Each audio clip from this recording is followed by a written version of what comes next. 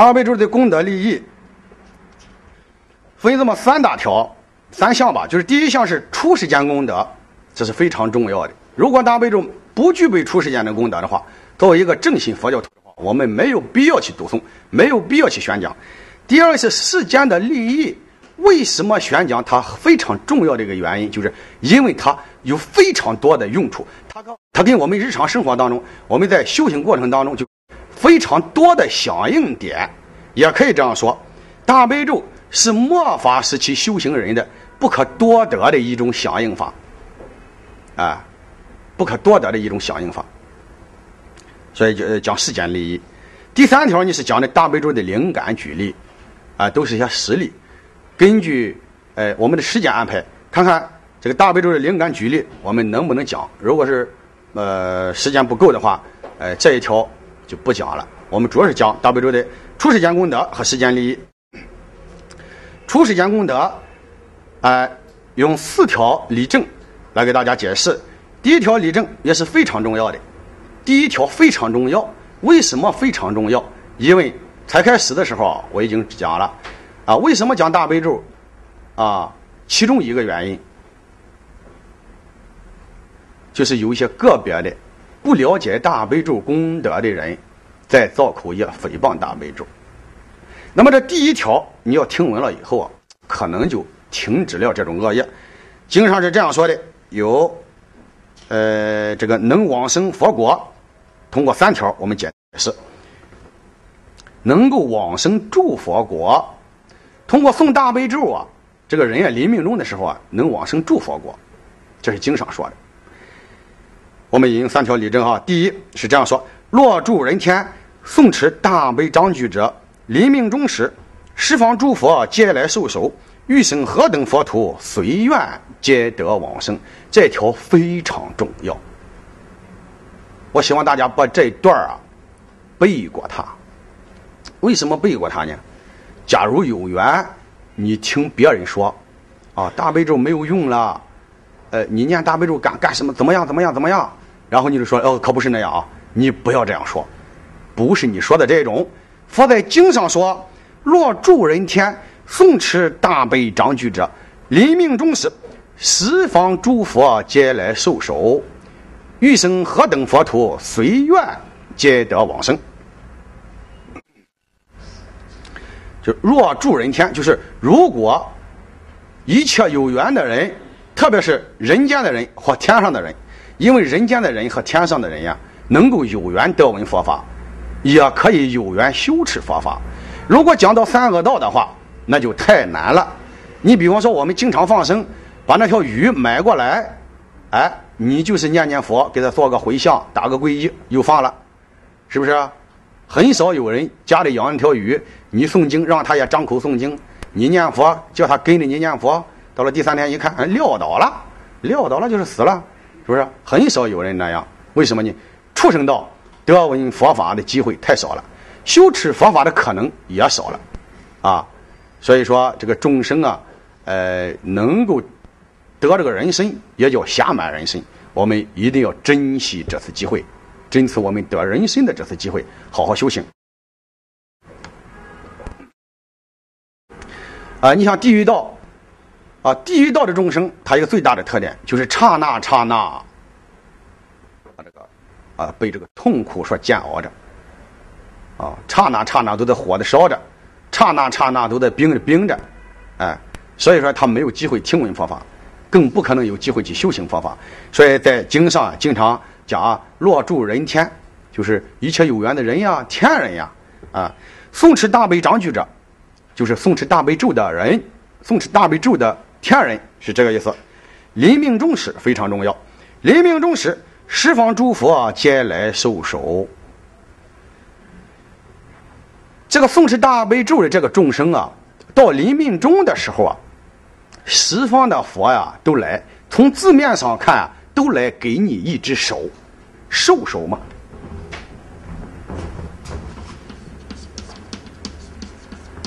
这个手是从上到下，从上到下给予的意思。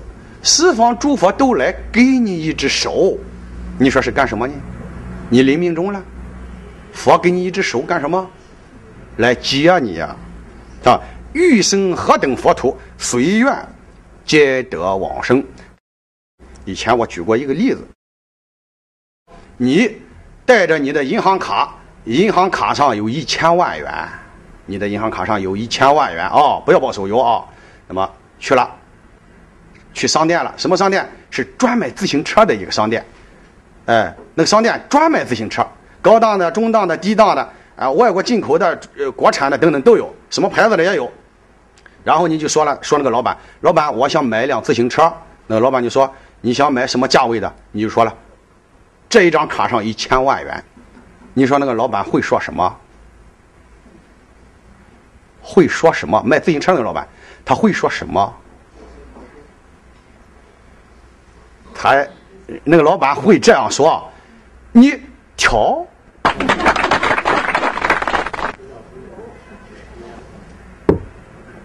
如果再仔细一点的话，是这样说：你随便挑，还是随便挑？为什么？你买一辆自行车，随便挑哪一辆，你这个卡用不完，懂不懂？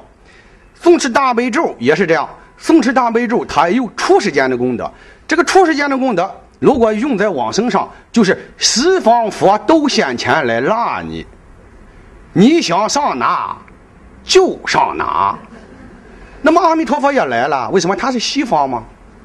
十方嘛，东西南北四维上下，经上这样说：东西南北四维上下，包括了一切一切佛，这里泛指一切佛都现前来拉你。给你一只手，在这有一个例子啊，有一个故事吧。那么那个道教有一个吕洞宾，八仙过海上有一个吕洞宾，大家知道吧？这个吕洞宾是修仙术的。哎，根据大制度论上说，外道这个仙法呀，呃，也有神通变化，最久啊七日。可是诸佛菩萨那种神通变化呢，久近自在，它叫久近自在，久就是远嘛，近就是近啊。长远那个时间，你想让它多长就多长，自在随缘嘛。那个外道的神通变化，最长七日，在大智论论上也是这样讲的哈。这里有一个故事，所以吕洞宾啊成了仙以后啊，他能够点石成金呀，啊点石成金，他也找徒弟啊。哎，你比如说这个道家这个修仙的，他也得找徒弟啊，也度众生啊。那么他发现有一个小吃店那个老板。和他有缘，啊，具备那种道风仙武那种相貌。那么吕洞宾一看，哎呀，他适合做我的徒弟，也可能有点道道啊。下一步能够呃练成这个仙法，那么他就来渡他。怎样渡他呢？吕洞宾才开始不说他是吕洞宾，都化现了一个老头，就是上他那个饭店去吃饭。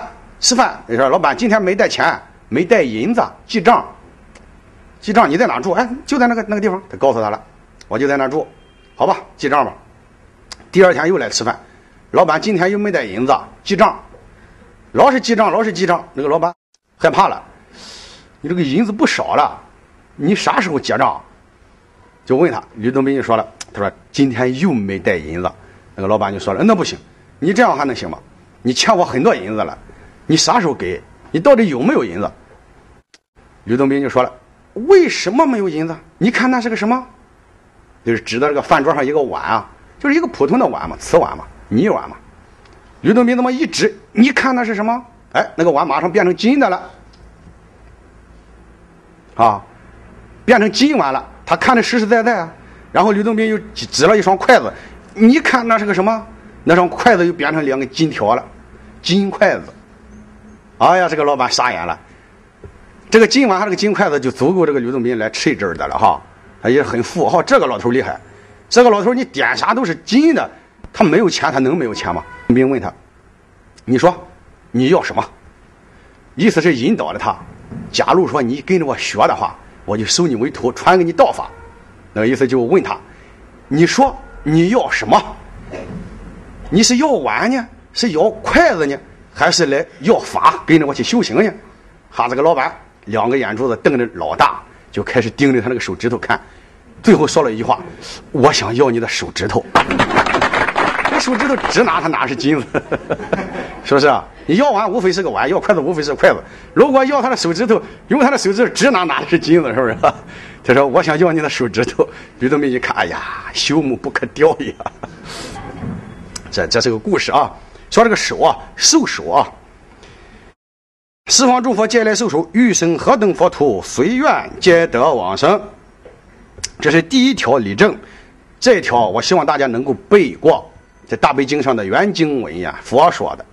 第二条是观世音菩萨也说了过了：诵持大悲章句者，若不生诸佛国者，我誓不成正觉。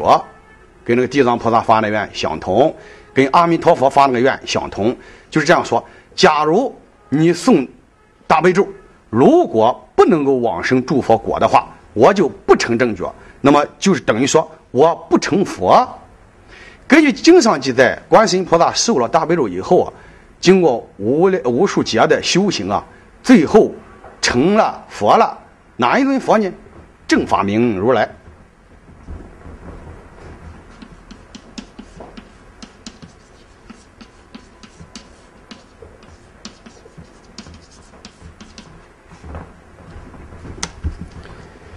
也就是说，观世音菩萨发了愿以后，通过多生多劫的修行，证得佛果。他这个佛叫。正法明如来，这个在这一部经典后半部分啊，呃，都提到了。释迦牟尼佛亲自说出来的，就等于说，观世音菩萨是一尊古佛再来，也可以这样说，观世音菩萨发了这一个愿以后啊，他成了佛了。那么他这个愿成就了，啊，诵持大悲咒的人，如果不往生到诸佛国的话，我就不成佛。可是现在呢，我们。从经上可以看到，他已经成佛了，已经成佛就等于说他这个愿成就了，他这个愿成就，我们可以这样正确的理解，就是说诵大悲咒的人能够往生诸佛国。这一条呢，实际是上一条的一种补充，啊，是上一条的一种补充。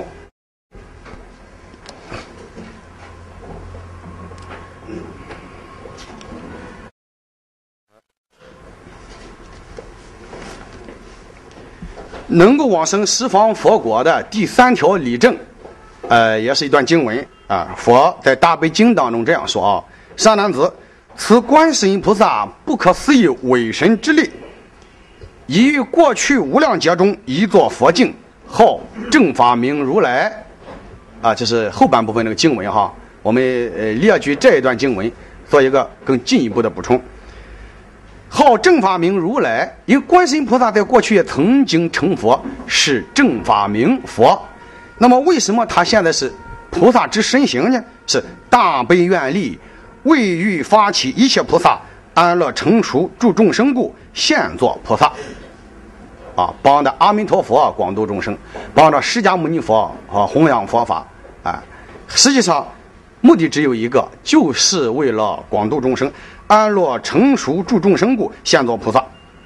然后释迦释迦牟尼佛有个菩萨摩诃萨，释迦牟尼佛安安抚啊，所有在座的，包括阿难啊，诸菩萨摩诃萨，凡是龙神皆应恭敬，莫生轻慢。皆应恭敬，恭敬什么？恭敬观世音菩萨，恭敬观世音菩萨所说的大悲神咒，是这两重的含义。莫生轻慢。这是佛的教诲，为什么呢？大悲神咒就是不可思议，不要生轻慢之心、轻毁之心和傲慢之心，啊，是这个意思。在佛法面前，我们任何的修行佛法的佛弟子啊，都是孩子。你修的再好，只能做佛陀的一个好学生，最后证得与佛无二无别的圆满的佛果。你修的再好，也不可能当佛的老师。啊，这个我们一定要树立起这种正知见来。啊，不可能当佛的老师，更不可能以这种轻慢心去给佛改经。这个大家一定要知道。这个大家一定要知道。啊，在这里点点开了一点啊。所以说。皆应恭敬，莫生轻慢。一切人天常须供养，这是佛陀的辅助。供养什么？一切人和天都应该供养观世音菩萨和大悲咒。刚才说了，得初地以上即为圣者，啊，即入圣位。那么观世音菩萨才开始的时候是初地，一听闻大悲咒呢，顿朝八地，他就得就是登八地了，不退地了。那么。他应该被人和天人所供养。单纯说观世音菩萨的话，那么大悲咒呢，更是功德无量无边。所以说，释迦牟尼佛在这里就是辅助在场的人，包括我们啊后来有缘得闻佛法的人，一切人天常须供养。后边一句话，转成名号，得无量福，灭无量罪，命中往生阿弥陀佛国。在这里说那个转成名号，是说。转成观世音菩萨名号，转成观世音菩萨名号，也能够得无量福，灭无量罪，命中往生阿弥陀佛国。这是一个什么理证呢？就是说，如果你光念观世音菩萨名号，照常能够发愿往生西方极乐世界。第一条理证的话，我们讲到。如果你读诵大悲咒、修持大悲咒，临命终的时候，十方诸佛都来迎接你。啊，你想往生到哪个佛国，随你的愿，随你本人的愿，往生哪一个佛国，都是可以的，都能够达到。哎，这是大悲神咒的初时间的功德的不可思议的地势力的加持。啊，是这个意思。我们如果听闻了这段经文的话，一定要呃有树立起一些正知见来。你可以这一生当中不念观世音菩萨，但是不可以以一刹那认为念观世音菩萨没有用，懂不懂？明白这个道理吧？这是一个理念，并不是说你们听了大悲咒以后，马上大家统统大悲法门了，是不是？大悲法门、净土法门啊、禅宗法门、律宗法门等等等等一切宗派，统统只有一个法门了脱之道，佛的法门，所以。在很多地方、很多场合，有个别的佛弟子，当然这个事儿就是他自己认为的一种标准嘛，衡量出家人、衡量在家人、衡量他的同修啊等等，然后站起来，师傅，请问你是修哪个法门的？呃，这个话不太好回答，我就这样回答，老老实实的回答。呃，非常抱歉，我现在还没有到分法门的那种程度，现在还没有分法门，我现在只和佛一个法门。哎，这里大家一定要知道，所以专称名号得无量福，灭无量罪，命中往生阿弥陀佛国。在这里给大家解释一个呃呃概念，那一个什么概念呢？时间，我们一般这个通俗一点的话叫时节因缘，时节因缘，在这里提出来一个时间概念。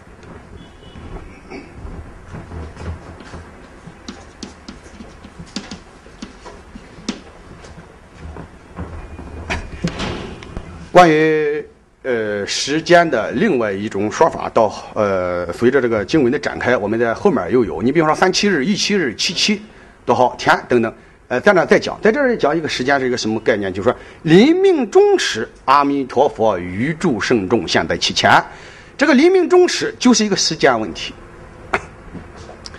比方说你过去种的那个善根厚，福报大，这一生得了人生以后啊。你可以活到八百岁，跟那个彭祖一样啊。那么七百九十九以前啊，一般情况死不了。跌到河里，哎，冲了一段又上来了，啊，上吊绳子就断了。人家给你投药，可能是假的，可能没起效，对不对？你想自杀不成功，除非有一条，哪一条呢？你大成就了，得大自在了，来去自如了，随便走。那么不到八百，你八百岁你也可以走，所以一般情况是我们这一生当中得了一个活到八百岁的一个色身，那就你老老实实，你把它干到八百岁。这个八百岁、八百年干什么呢？除了正当的生活以外，你要努力精进修法，随缘度众。这个菩提心另外一个层面叫度众，度众我们把它说的通俗一点、简化一点，叫为别人着想，为别人付付出，为别人服务。哎，所以我在去年一篇论文当中啊。这篇论文已经呃发表了，就是，哎写了过这么一段如果每一个人都存着什么心，都存着我为人人这个心，那么咱们每一个人都处于一种啊人人为我的这一个祥和的环境当中，是不是？你也说哎，我为人人，我也是我为人人，大家都我为人人。那么你在这坐着，你是不是处在一个非常祥和的？人人为我的一种社会环境当中啊，哎，所以大家必须要有正确的理念啊。哎，这个讲到临命终的时候，阿弥陀佛现前来接，哎呀，不要求急。在这里举一个例子，这例子我举过好几次，在这里再举一次，有的可能是第一次听。我们寺院在建寺的时候，因为通过六年那个寺院的道场证才批下来嘛。哎，六年当中啊，我们一直在努力。呃，九九年开始建寺，大约是两千年那一年，我出去呃有事情，出发有事。我那寺院里有个山洞，我最初是住在山洞里建寺。啊，两千年那年我出发，呃，这时候呢，呃，看寺庙的一些护法就给我打电话，他说：“师傅，呃，不好了。”我说：“怎么又不好了？”呃，他说有一个居士到我们山洞来想往生。我一听，我们寺院还没建成。呃，道场证还没批下来，就有来往生的了哈，这倒倒是好。我说一个什么情况？他说：“哎，就是谁？”我一听，好，谁都往生。他，我了解他，他这个身体啊非常棒，精神头很足。他说他跟他媳妇打仗了，不想过了，就是不想活了，烦了，然后到我们山东来往生，在这住着。哎，人家叫他也不理人家，哎，到吃饭了，人家给他送饭也不吃。呃，抱了几把柴草，把那个洞口一挡，啊，就谁也不理了。这个这个给我打电话的去世就说了，担心啊。好，师傅，他要真死了，我们叫往生啊，公安局叫死了，这玩意儿他惹事儿。结果一想，想往生，哦，倒是好事我在电话上这样说，我说你不要理他，三天准饿出来了。到了第三天，他饿出来嘛，悄悄回家吃饭去了。在这里讲到啊，时间还是帮助大家正确理解、树立政治见。你看《弥陀经》上说啊，若一日落二日，一日到落七日，其人一心不乱，其人一心不乱，临命终时，阿弥陀佛预祝圣众现在其前。他犯了两个错误：第一，和他媳妇打仗，不想活了，大乱，啊，不是清净心，不是功夫成熟了；第二呢，不是临命终。所以大家一定要知道，哎，时间，时间。还有的人说啊，你看我修法修了好多年了，没有任何感觉，好像是，什么也没有变化。在这里举一个例子，功德可以是无形无相的，这个功德它可以产生世间那种利益。功德怎样才能产生世间的利益？就是因缘和合，因缘和合，它才以世间的利益的形式显现。啊，哪一种呢？你比方说消灾免难啊。再举一个例子，还是我们兴隆寺的一个居士，啊，他呢在黄河以北一个工地上，跟人家看搅拌机，在工地上看机子，啊，平常呢他是念观世音菩萨，念观世音菩萨，念大悲咒，哎，在工地上呢有一天停电了，他就把这个电闸呀拉下来了，拉下来待了好长时间，还是没来电。后来他想，哎呦，来了电也不知道，耽误人家的工作，就亲自把这个闸又合上了。合上以后又待了一段时间，他就想了，你看，时间一长，那里边有很多渣子，需要提一下哈，清洗一下。那么他就拿了个锤头，拿了个钢钎儿，钻进去了，钻到那个十二个齿的搅拌机里面了，搅水泥的嘛。啊，在里面梆梆梆一敲，梆梆梆一下敲了一会儿，哎，那个发动机啊，嗡，来电了。他那个观音菩萨那个观音菩萨没念完，他出来了。出来以后，把小腿肚子划破，一只鞋黄球鞋拉到里面绞碎了，锤子把绞断了，木头的嘛，钢钎拧成麻花了。他这人出来了，是秋天发生的事儿。到第二年的呃正月初四，一步一个头，一步一个头，跪拜到兴隆寺，跪到我面前哇哇哭。一个大老爷们儿，我说你哭啥？啊受着什么委屈啊？师傅，啊，我这个命啊是佛菩萨给的。然后他就讲了这一段了。当时我跟他开玩笑，我说，你平常在念观世音菩萨的时候，或者在念大悲咒的时候，是不是你祈求了就求了？观世音菩萨啊，我到哪一天哪一天，我钻进去的时候，一嗡的一声，你把我拉出来啊！他 打了个愣，就说：“哎呦，师傅。”假如说我要知道那时候嗡的一声，我不上里钻，啊为什么呢？我是给想给他讲给他一个道理听啊，想讲给他一个道理听。确实是，灾难发生的时候，我们往往大家都是不知道的，是不是？如果是知道了，我们不去或者上马路啊，或者去下水啊等等，或者坐车啊等等，啊，能够避免有些事是能够避免的，因为我们这个业障啊、无名啊。业力的牵引啊，无名的遮障，我们不知道灾难什么时候发生，因缘果报现前的时候，那么灾难必然要现前。如果你修行了，平常产生的那种功德，积累那种福报，可能就在那一刹那显现。哎，所以说功德是无相的，它可以以有相的身形、有相的这个呃形态来表现出来。你比方说消灾免难，刚才这个是免的这个命难哈。呃，最后他说：“师傅，到现在我不知道怎么出来的。他到现在一直不知道怎么出来的，几乎是不可能的事。啊，呃，因为这种委员的话，嗯，有的也发生，有的地方哈，呃，人也在里面直接都不成样了。哎，他是个搅拌机嘛。呃，这里讲到这个时间、时间和这个因缘啊，我们修行呢一定要正确呃理解佛陀的真实含义，我们不要怨天尤人。”呃，临命中能够往生，能够成就，这是一个时间，这一个时间概念，啊，一般说我们当生成就啊，呃，还有要正确理解，当生成就啊有两个层面的含义。第一个层面，念佛的人能够保证往生，这就叫做当生成就了。为什么呢？因为我们念佛人目的就是为了往生西方，究竟目的是为了了脱。可是我们第一步是要。去到阿弥陀佛那儿，能够保证往生不再轮回了，在阿弥陀佛那里再去修行，最后证得佛果，也可以叫做当生成就。还有一种当生成就，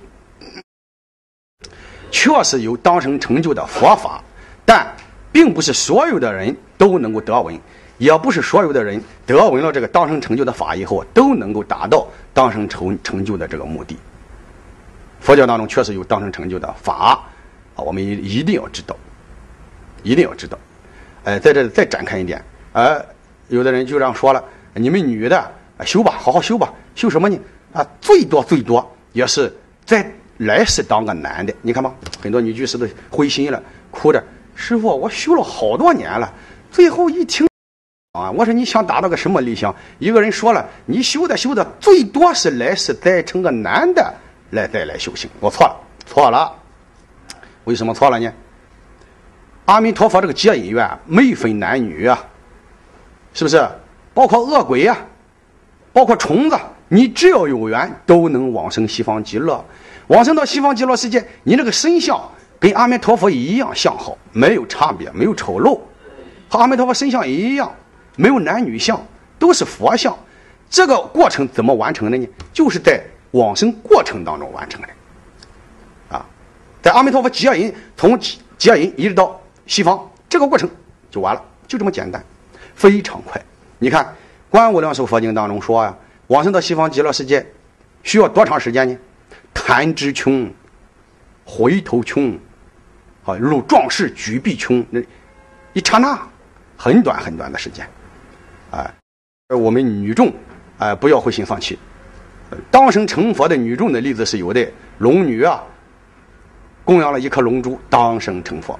哪怕就有一个例子，也可以说明这是可能的。法的不可思议的功德，谁修谁得，呃，就是这个含义。再讲大悲咒的初世间功德的第二条理证，哎，这个第二条理证呢是能正果成就，这里边共分五条，能够正果，能够成就，是一个修行人啊修行的最终目的啊，就是最终成佛嘛。哎，一个正信的佛教徒啊，修行啊，不仅仅是求世间福报，也可以说不是求世间福报，求的是一种了脱，是一种正果，是一种成佛。大悲咒有这种能够正果、能够成就的初世间的功德。啊，所以我们呀才有修学的可能。啊，才有听闻的必要，是这个含义。五条，第一条，啊，观世音菩萨呀，初次听乾光王净珠如来说那个大悲咒的时候啊，啊，有这么一段经文，哎，观世音菩萨说：“我于世时施主出地，一闻此咒故，超第八地。”这段经文头五我们已经引用了，在这里呢，不再展开讲了，就是这一段是能够正果的一条。理证，啊，第二条是观世音菩萨在讲了大悲咒以后呢，是这样说的：就在经上呀，观世音菩萨把大悲咒啊宣讲给所有的在座的人听。宣讲完了大悲咒以后啊，紧跟着一段经文是这样说的：啊，一切众会借火果证，这就是个正果的非常明显的一条例子啊。后面一个列举获得须陀洹果。获得斯陀含果，获得阿那含果，获得阿拉汉果者，这是一段后边一个段落叫获得一地、二地、三地、四地、五地乃至十地者。再接下来一段无量众生发菩提心，分三个自然段这三个自然段呢，实际是就是三种不同根性的人在听闻了。观世音菩萨讲完大悲咒之后，所得到的不同的果证，啊，能够正果的理证吗？第一小段呢是讲的小圣根性的众生，听闻了大悲咒以后啊，他们得到的是须陀洹果、斯陀含果、阿那含果或者是阿罗汉果，这是小圣根性的众生所得的四种果证，啊，也叫圣闻圣。呃，在这里展开讲一下，须陀洹果就是这这叫四果啊。这四果，第一果是须陀洹果，是小乘佛教的出果。所谓这个小乘佛教啊，也是佛教，他们的经典啊也是正确的，也是正法。我们这些修学大乘佛教的人，不要站在大乘佛教的角角度啊去诽谤小乘佛教，啊，也不能去诽谤小乘根性的人。为什么？他就是那种根性，就是那种因缘，啊，就是那种福报，就应该听闻小圣的佛法，通过小圣的佛法的修正，最后证小圣果位。所以佛经当中啊，它分五圣嘛，分五圣啊。你比方说人天圣、声闻圣啊、圆觉圣等等，任何一部分佛经都是正确的，都是正法，啊。因为那一部分佛经啊，是讲给有缘的人，啊，就是那一部分根性的人听闻的，啊，小圣根性的人，他只能接受小圣的教化，啊，最后最后是证的阿罗汉果位。呃，这个须陀洹果呢，是小乘佛教的初果，也叫第一果，有好多种翻译，也叫入流啊。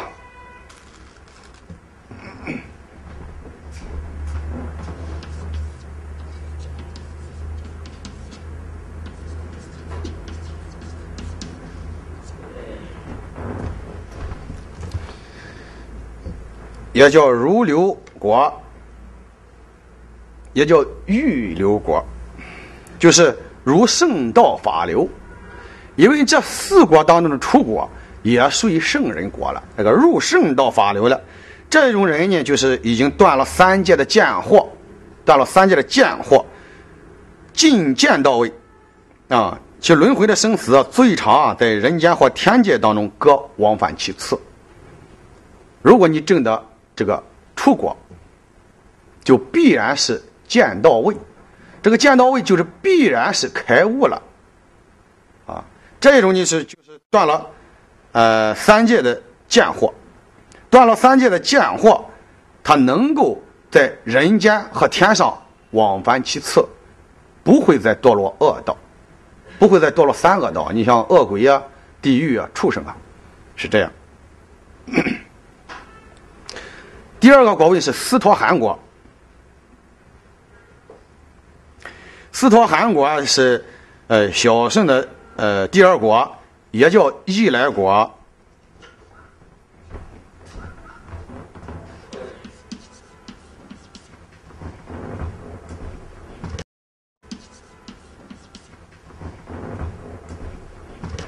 也叫伊莱国。如果证得四团韩国，那么这个人呢就断了欲界九品私货的前六品，他还有呃欲界私货当中啊，呃还有那个后三品，还没有断，他需要再来欲界一次，再来欲界一次，所以他也叫一来一次往返，也叫一来果。这个四条含果呀，是修到位。这是二国是修到位，三国也是修到位。刚才讲的那个虚陀还国呢，它是出国，出国是见到位。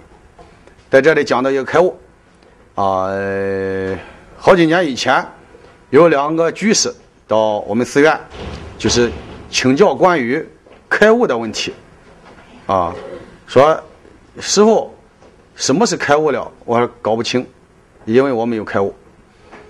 嗯，他说谁谁谁开悟了，可能是开悟了。我说搞不清，因为他们告诉我，我也没有资格，没有那个呃能力去给他去印证。我我就反问了，你怎么知道谁谁谁开悟了呢？因为那个谁谁谁说了，他看到光了。我说哦，如果说看到光就是开悟的话，我每天都开悟一次。为什么呢？早上一睁眼就看到光了，最起码是看到灯光了。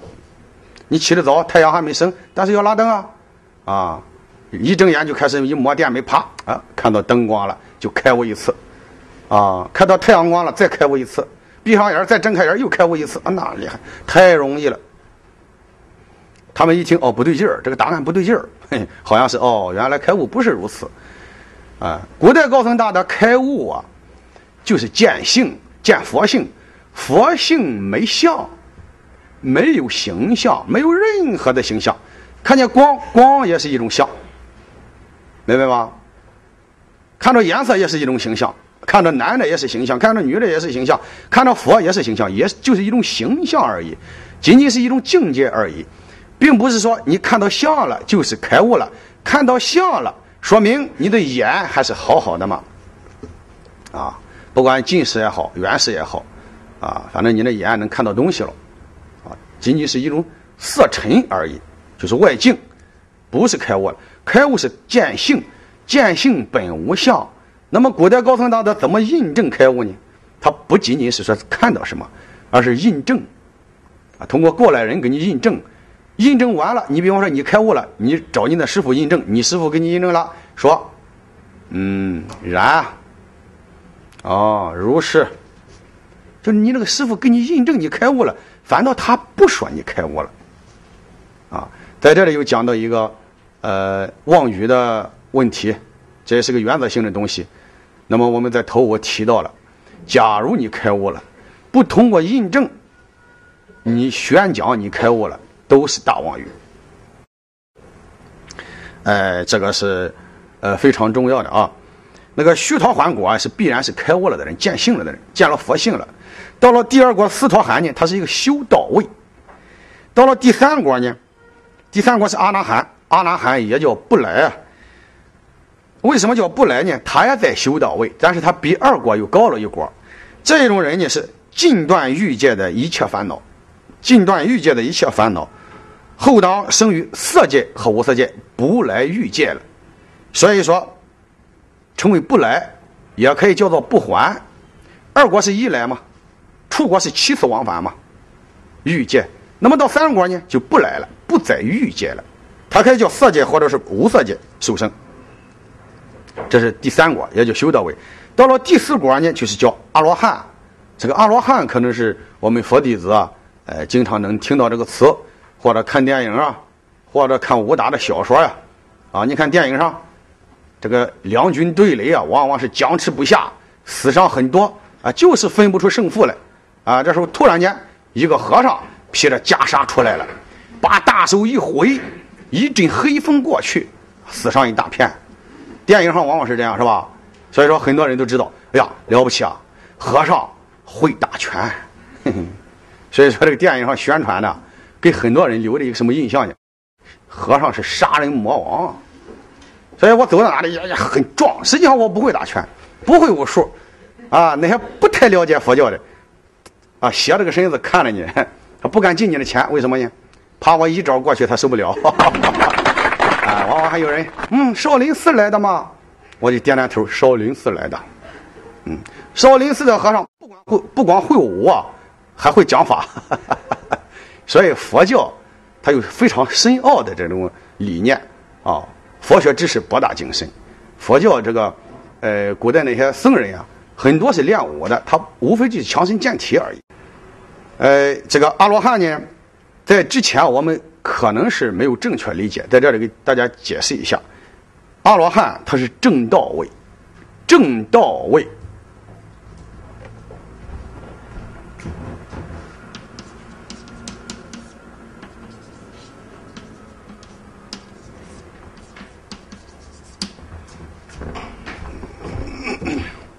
阿罗汉也叫圣人，他是印度话，为什么不翻译成圣人呢？为什么不翻译成正道位呢？因为阿罗汉它里边啊含有好多好多种含义，你翻译成哪一种也不能概全，所以还是用印度话阿罗汉来代替它。它是正道位，通过出国二国三国到第四国就是正得道了，正得大道了，不再轮回了，可以进入涅槃境界。但是阿罗汉进入那种涅槃境界是一种偏真涅槃，它完全有别于我们凡夫了。所以我们叫六道轮回的众生，一到了阿罗汉，他叫圣人。但是这种圣人呢，是小圣根性的人所证得的一种果。小圣根性最终能证得阿罗汉果位，再高没有了。那么有一部分阿罗汉呢，就进入涅槃境界了，享受法乐去了，进入偏真涅槃。而另外一种阿罗汉呢，就是回小向大，啊，回小向大就是说，放弃小圣。呃，小圣修法来修大乘佛教，修六度啊，在修菩萨道。阿罗汉，他这个含义啊，呃，有这么三个。第一个含义就叫杀贼，杀贼呀，实际上是杀尽烦恼之贼。啊，佛教当中把这个贼称为一种烦恼。人如果是有烦恼，他必然有轮回之因，所以正得圣人之位了，啊，达到正道位了，就是断尽一切烦恼了，没有烦恼了，所以就没有贼道了。所以在这里，阿罗汉有一个含义叫杀贼。这里这个杀贼，并不是抓了那个强盗、抓了那个小偷去杀掉他，而是断尽了一切烦恼，就是断尽了轮回之因，他可以不轮回了。所以说，他叫杀贼。第二呢，就是叫无生，无生啊，就是解脱了生死了，不再轮回了，不受后有了，他可以进入涅槃了嘛，就是这个意思，叫无生。第三个含义呢，叫应供，应供啊是，他有资格受天人和人间的供养了，因为他是圣人了，不管是人也好，天人也好，能够供养圣人。将会得无量无边的福报，功德是极大的。哎，这个在很多经典上有所提示，我们在这里不展开了。在这里举一个例子，讲阿罗汉能受天人供养。释迦牟尼佛在世的时候，他有很多的弟子，呃，特点各不一样。呃，其中有很多很多是证得阿罗汉果位的弟子。其中有一位弟子叫牛斯尊者，牛斯尊者。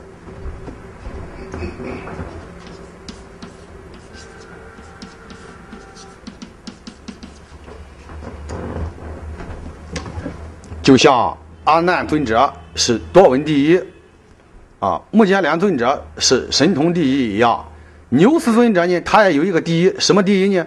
是受天人供养第一。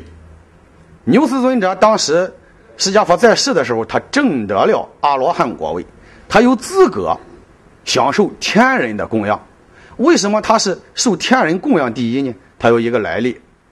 牛斯尊者在过去世，曾经出家当一个小沙弥。当他当小沙弥的时候啊，碰到一个老和尚啊，在修行。这个老和尚年龄很大了，这个色身嘛，年龄一大了，这个色身呀就显得老了、干枯了啊。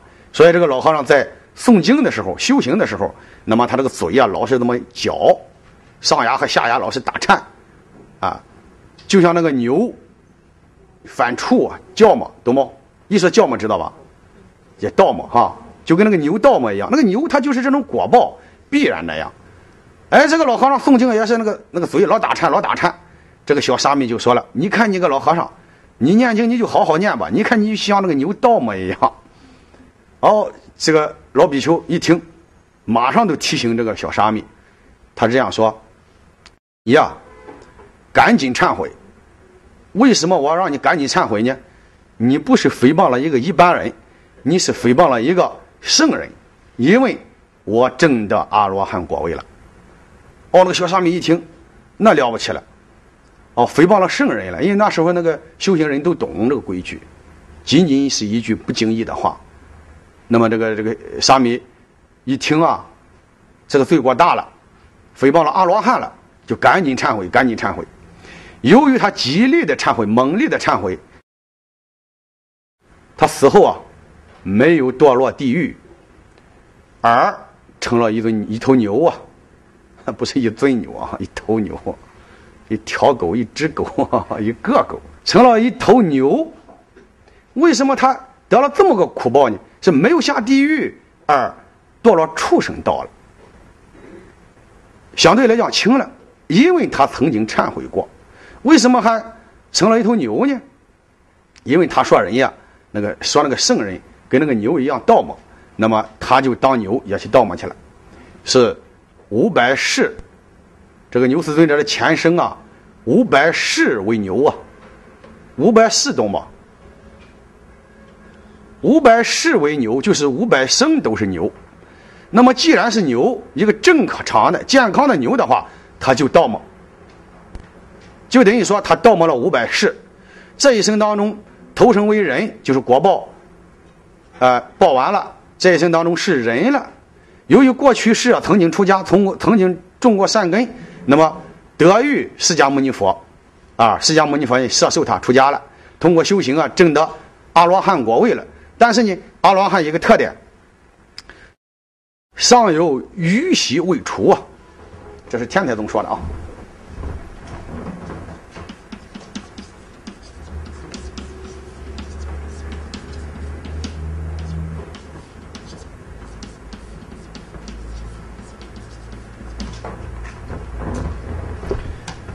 一个人即使证得阿罗汉了，尚有余习未除啊！这个牛斯尊者这个余习也没有除干净。哪一个余习呢？就是道嘛！啊，这个牛斯尊者啊，证得阿罗汉果位以后，他呀经常那个嘴也老是这么道嘛，因为他曾经五百世为牛，这是一个串习，就是不好去拐。释迦牟尼佛为了慈悲当生的众生，那个意思是。你要是托钵化缘的话，在人间可能有人说你跟牛一样，那么谁说你跟牛一样，那么谁就是下地狱了。为什么？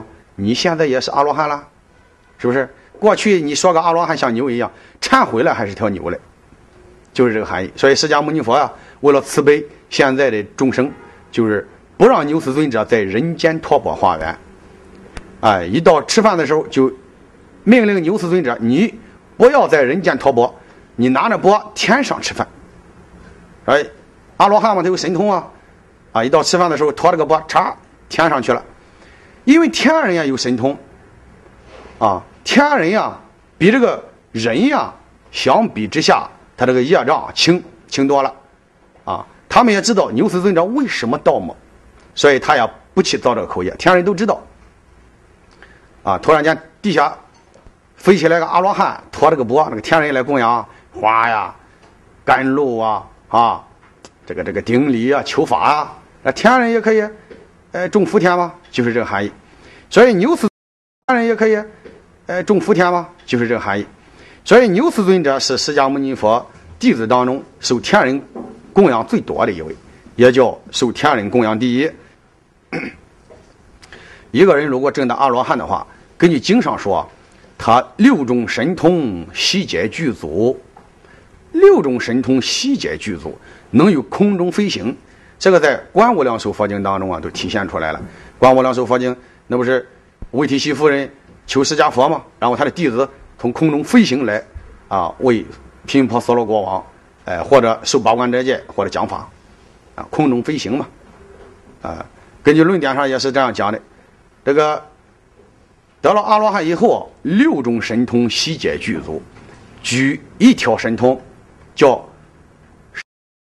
神经质症痛，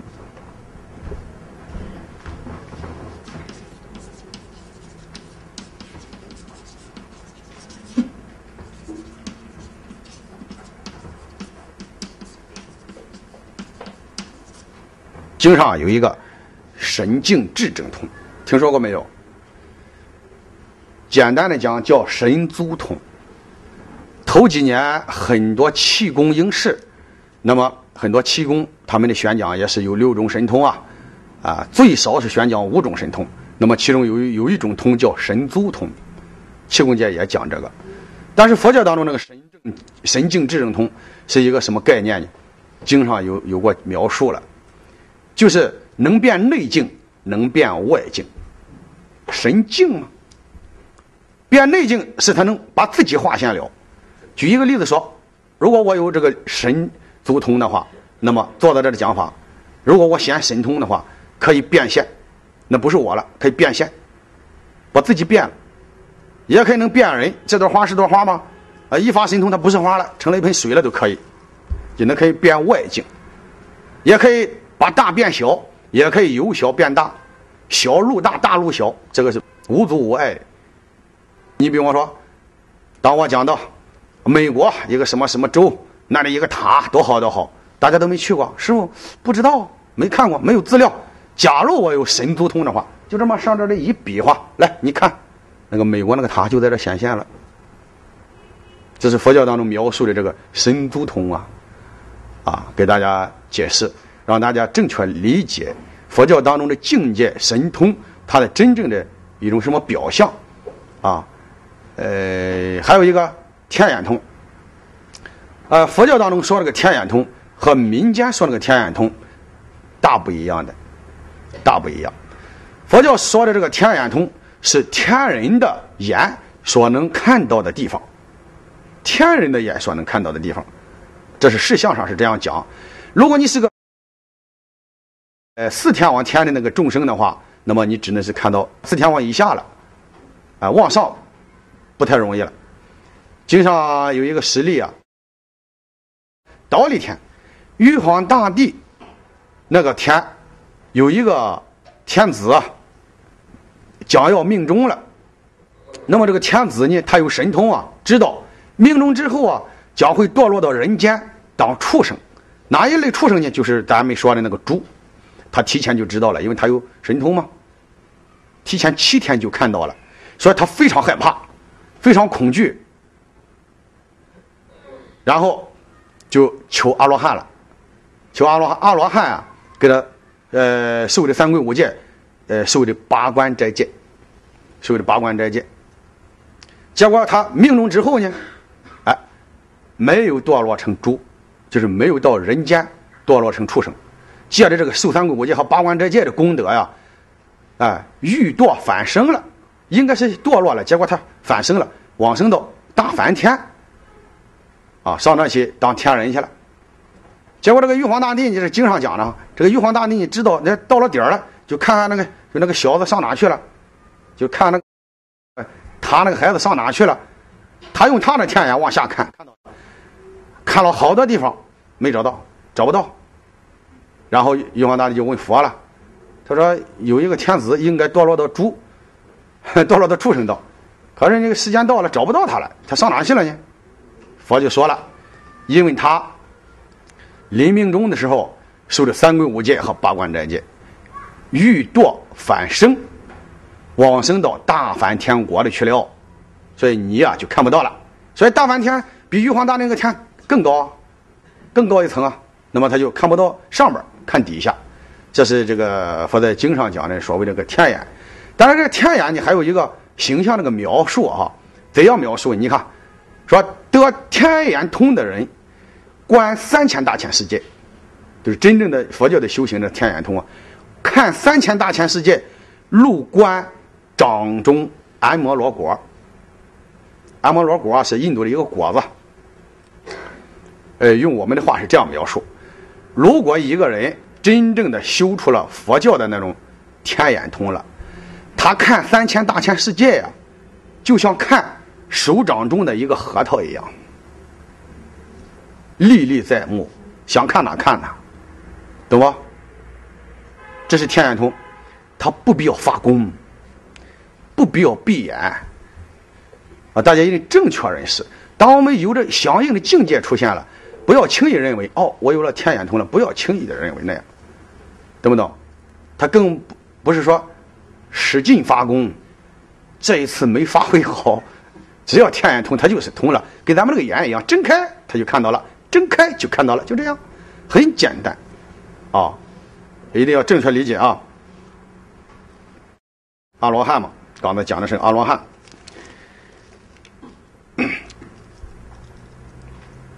第二条理证是这样：观世音菩萨在宣讲了大悲咒以后啊，一切众生皆获果证，这是一个总的描述。获得虚陀还果，就是说小乘佛教根性的人，有的证得了初果；获得四陀含果，有的证得了二果。他根性不一样嘛，啊，因缘不一样，福报不一样嘛。获得阿那含果，就是有的证得了三果；获得阿罗汉果者，有的证得了四果，就是小乘根性的人，都各有所报。这是。前面一个章一个节儿，第二个小节是获得一地、二地、三地、四地、五地，这是原经文呀，乃至啊，走的是菩萨之道、菩提道嘛，然后求的是啊佛果。他们在这个修行过程当中证得的是什么几几地几地，那是不一样的。呃，因为这个一地啊、二地、三地、四地、五地，乃至十地，在前面已经讲了，在这就不再多说了。后边还有一句话，实际上第三层意思叫“无量众生发菩提心”。无量众生发菩提心，就是，呃，这个福报浅的、根基差一些的，只要得闻了大悲咒，那么也发了菩提心了，啊，求了脱的心，就是这个含义。这是第二条理证啊。第三条理证，有诸菩萨未解初住者，俗令得故。乃至令得十住地故，又令得到佛地故。这是一段经文，还是讲到大圣根性的人。这是在另外一个地方讲的。罗生为人，又是小性根性的人啊。这是在另外一个地方这个一条理证。罗生闻人就是阿罗汉那一类的人。声闻呢，已经讲了，就是在佛陀跟前亲闻佛陀的教诲，啊，修的是苦集灭道，断的是见思二惑，证的是。四果，最后证得阿罗汉果。这这一类的人叫声闻。若声闻人闻此陀罗尼，就是一闻大悲咒，听闻大悲咒，一经二者，这是一个层面的含义。就是有一部分是这样的：一闻到大悲咒，啊，这大悲咒已经过他的耳朵了，这是一种修行。这是一个顿号。书写此陀罗尼者，修行此陀罗尼，或者书写此陀罗尼，陀罗尼就是咒吗？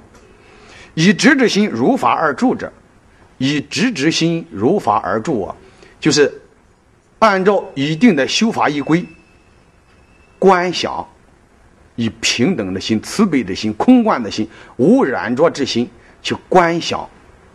所以他呢又加了一个前提啊，这种人呀根性相对利一些。那么后边一句话叫“四沙门国不求自得，四沙门国就是刚才我们讲的那个出国，一直到四国，这种果报不求自得，不求自得非常简单，就像你坐到那儿吃饭了，你不要问我吃饭干什么，你也不要一块吃的馒头一块说饱吧饱吧，你就吃就行了，他就饱。所以佛在经上，呃，给阿难举了一个例子，他说阿难，如果有一个人在悬崖边上一不小心踩空了，跌下悬崖来了。佛就说了：“阿难，你说这个人不堕落可能吗？懂吗？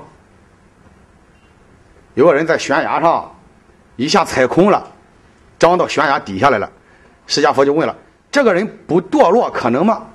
阿难就说了：不堕落不可能。啊，同样，释迦佛又说：如果一个人得闻正法，又按。”正确的修行方法去如理如法的修持的话，不成就可能吗？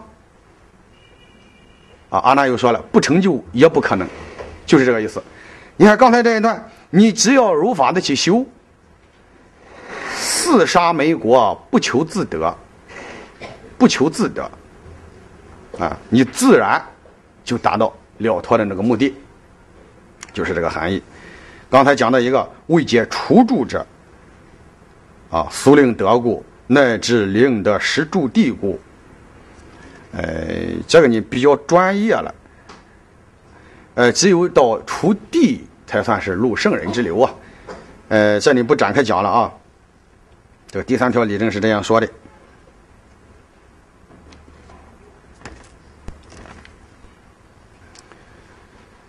能正国第四条理证。第四条理证：若能为诸众生拔其苦难，如法诵持者，当知其人即是具大悲者，成佛不久啊！假如一个人能发心为一切众生拔其苦难，发了这种菩提心以后，而如理如法的去诵持啊，佛说了，当知其人是具大悲者，他是具有大悲心的人，成佛不久啊！这是佛陀的一种受记，只要你是这种人。那么就是成佛不久。若能为诸众生拔其苦难啊，有两种。哪两种呢？第一种是世间苦难，世间苦难是用的大悲咒的世间利益，包括了治病，包括了消灾，包括了免难。这个我们在接下来那章节当中解释，就是世间利益啊。最主要的在这里，我们讲的是拔其苦难，什么苦难？就是轮回之苦，轮回之难。当我们真正的没有苦难的时候，那应该就是了脱轮回了，啊，就是不再轮回了，也叫正果了。所以我们把这一段理证放到能够正果、能够成就的来说明，啊，当知其人即是具大悲者，成佛不久。呃，第五条理证是这样说：口中洒洒诵词陀罗尼，生生不绝者，四沙民国，此生即正。这是小乘根性的人，还是讲到一个正果。小乘根性的能长四沙民国，其利根有慧观方便者，就是假如说你这个根性是非常利的，有智慧的，啊，又能够通过一定的修行方法去空观。智慧是什么智慧？是佛教当中的那种薄若空性之智，缘起性空那种智慧，啊，初世间的一种智慧，啊。观方便就是依照一定的修行方法去观想去修法的话，实地果果位克活不难。实地果位就是刚才讲的那个，还是一个实地果位啊。何况世间小小福报，所有求愿无不果遂者也。何况世间小小福报，一个修行的人，他的最终目的是了脱生死，啊，直至成佛果。那么在这个过程当中，我们那个世间那个福报啊，啊，能够带得出来，能够开显出来。所以世间的福报再大，和那个出世间相比呀，和出世间的功德相比呀，啊，他这么一句话叫“世间小小福报”，世间那个福报它称为小小的，不足挂齿的一种，啊，是这个意思。嗯，在这里你呃解释一下，有很多人不太明白，你比方说。呃，我也修行好多年了，但为什么没富起来呀？我问他你干什么？呃，没富起来呀。我问他你干什么？呃，在家待着，在家待着。我在家待着也富起来了。你只要修行嘛，那么他就有福报。这种福报就在家里给你没着呢，是不是啊？没有开显嘛？怎样才能开显呢？就是你去做生意啊，你去做工啊，或者去呃搞一些加工啊，或者搞一些贩运等等，要做。亲自去做，这是一种因缘，因缘和合的时候啊，就能开显你这种福报。有人老人在家待着，什么也不干，有福报也很难开显，就这个意思。说我怎么不富啊？问他干什么工作，在家待着呢？最后我告诉他，你已经很富了，只不过是你没有开显而已，是那道理吧？这个刚才讲到口中撒撒送死陀罗尼，这个撒撒，你们有缘送到大北京的时候，这个字洒。口中撒撒送死陀罗尼，这个撒呀是个象声词，实际上就那个马呀非常快的走的时候，而不是跑，是走的时候，叫马疾行，马蹄子发出来那个声音，叫撒撒。啊，实际上就这是一个响声词啊，口中洒洒送辞陀罗尼，声声不绝者，四沙民国，此生即正。其力根有慧，观方便者，实地果位，克获不难。这个有慧，不是说聪明，而是一种智慧。刚才讲了，这个慧就是通达法的地势性，叫做有慧。如果你没有通达法的这个地势性，啊，不叫做有慧。在这里观方便，就是以正慧观照诸法之本来面目，也是以就是以佛教的正法去体悟、去观修那个法性，就是这个意思。观方便，实地果位，克活不难。这个克活啊，呃，一定知道克活，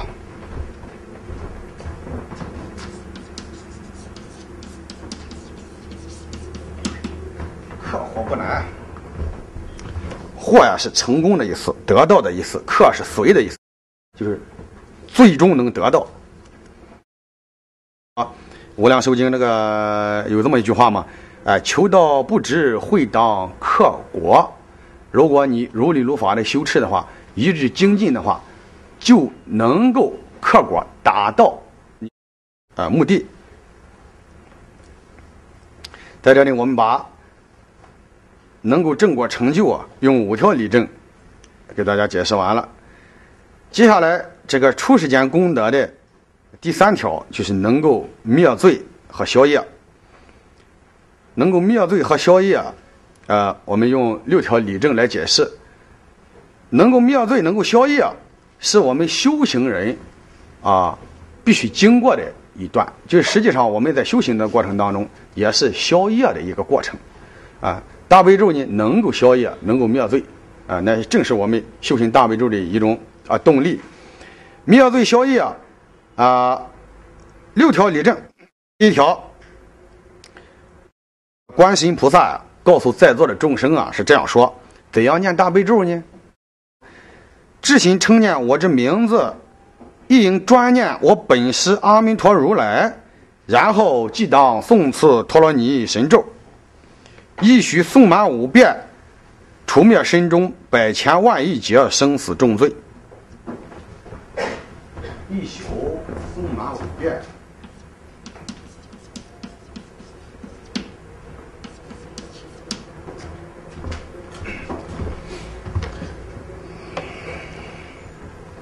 就是你如果想诵大悲咒啊，应该先诵那么大悲观世音菩萨。也可以再送南无阿弥陀佛，最后送大悲咒。送大悲咒，你能够一天诵满五遍的话，后边一句话叫“除灭身中百千万亿劫生死重罪”。百千万亿劫生死重罪。作为一个人来讲，生死啊是最重要的大事情。那么我们活着还没有了脱之前，如果死了。这是极大的恶业现前，啊，极大的恶果现前，啊，呃，佛在经典上讲人有九横嘛，就不该死的死了有九种嘛。那么生死重罪，如果果报现前的话，就是一种横灾。一宿诵满五遍，这是经上讲的，我们应该和经上对应。所以我劝大家，如果在课下想每天都诵大悲咒的话，啊，有人问师傅最少诵多少遍？那么最少你诵五遍。一宿呢，他提了一宿就是一晚上啊。实际上，古代印度吧，他往往这样说：二六十钟。